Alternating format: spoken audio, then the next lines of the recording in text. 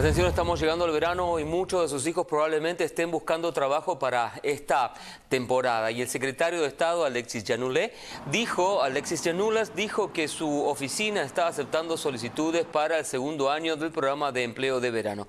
Hay más de 120 puestos disponibles para estudiantes universitarios, de escuelas vocacionales y de posgrado para graduados de preparatoria.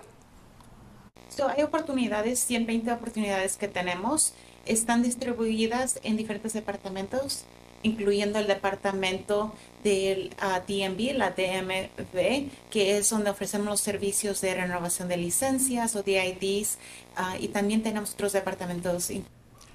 Para enviar una solicitud visite el sitio lssos.gov diagonal Summer Jobs.